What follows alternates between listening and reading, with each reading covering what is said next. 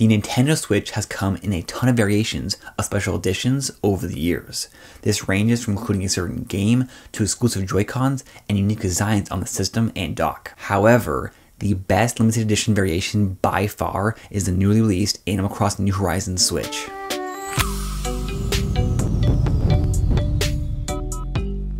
Hello everyone, my name is Adam and welcome to TimeLag Gaming. The Nintendo Switch is 3 years old and in this video I'm going to unbox and review the Animal Crossing Switch and also discuss whether or not it's even worth buying a Switch in 2020.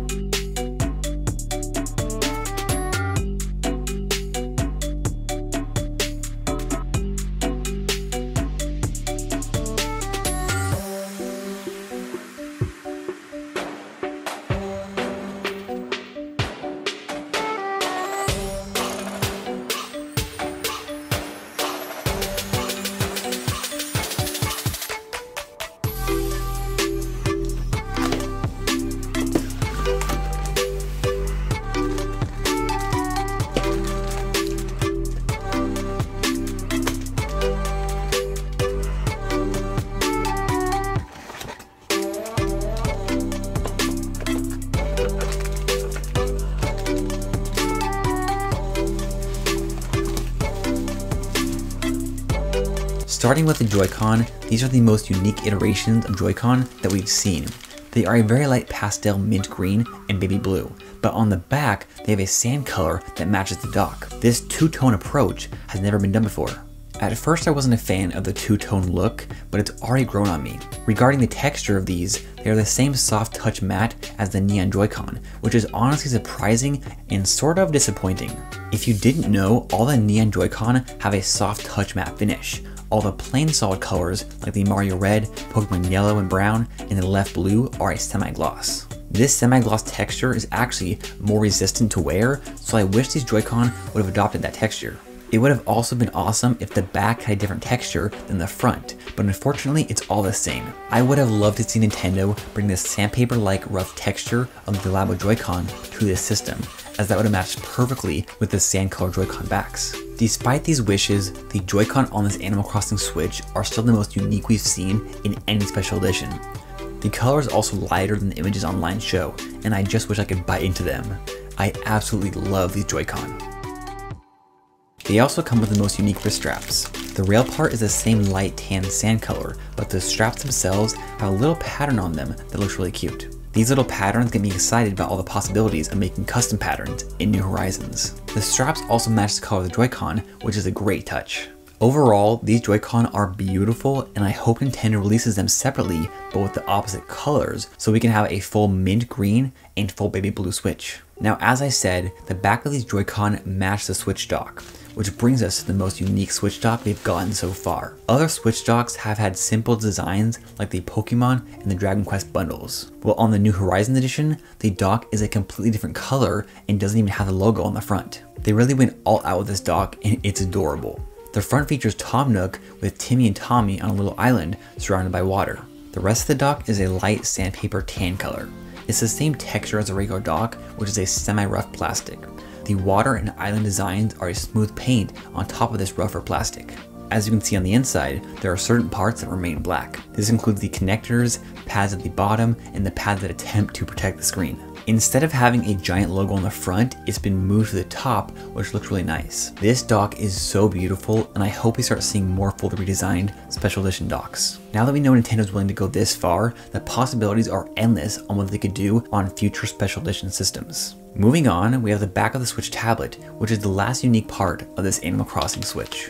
We have seen similar designs with the Pokemon, Diablo, Dragon Quest, and Disney limited editions. However, like everything else with this New Horizon Switch, they took it to the next level. Instead of having several big patches of glossy raised designs on the back, there are hundreds of little detailed designs. You can see water, grass, rocks, trees, flowers, fences, weeds, sticks, seashells, fishes, a shark, whale, hammock, fire, coral, tents, a boat, a house, snow, mushrooms, a butterfly, a message in a bottle, and more. There are so many little details on the back which we haven't gotten with any other variation. I do wish they would have made some of these designs colorful though.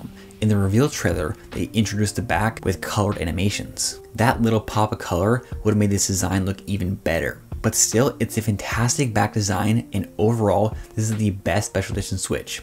It's also the cheapest at 299. If you're wondering, these are the only changes. The charger, HDMI, and Joy-Con grip are all exactly the same.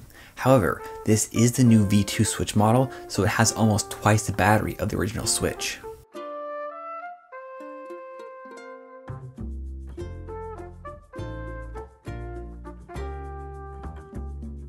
If you have the original Switch and are thinking of upgrading, I say do it. The other day, I sold a used original Switch on OfferUp for 250. I had it listed for 240 and the guy offered to pay me $10 more for me to deliver. That just shows you that you can upgrade for very little money. $50 is absolutely worth the extra battery life and the beautiful new designs.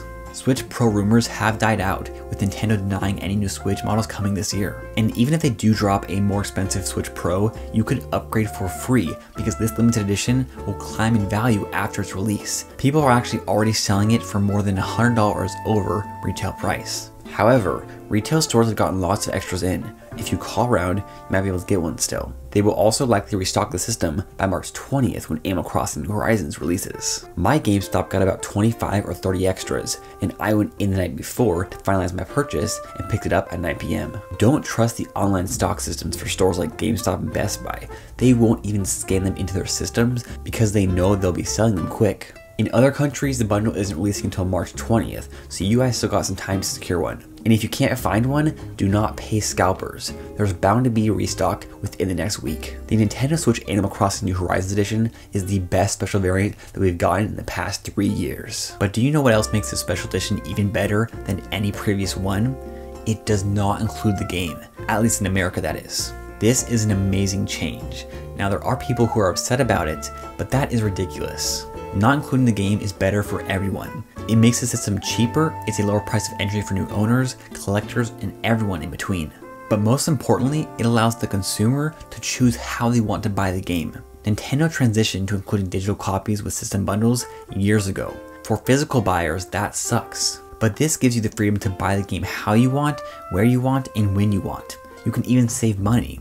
Walmart has new games $10 off on launch day, so you can save money that way, or you can wait for a used copy. You could also choose to preload it digitally, or buy it brand new on Amazon. There's also the option to buy it at Target, Best Buy, or GameStop and get an exclusive bonus item like a bell bag, poster, tote bag, or journal. The freedom of the 299 special edition system with no game is how it should always be going forward. The Nintendo Switch in 2020 is still completely worth buying, and the Animal Crossing Switch is the best special edition so far. If you have the original Switch or you're a collector, new buyer, or you love Animal Crossing, I highly recommend buying this system before it's out of stock forever. And if you like Animal Crossing or Nintendo Switch, consider subscribing. I'll have more Animal Crossing content coming soon, including accessory videos and live streams where we can play together. I'll even be giving away an Animal Crossing Switch system later this year because I did pick up an extra one. But now I want to hear from you. Are you excited for Animal Crossing New Horizons? Are you going to pick up this limited edition Switch? Let me know your take in the comments down below. Thank you so much for watching.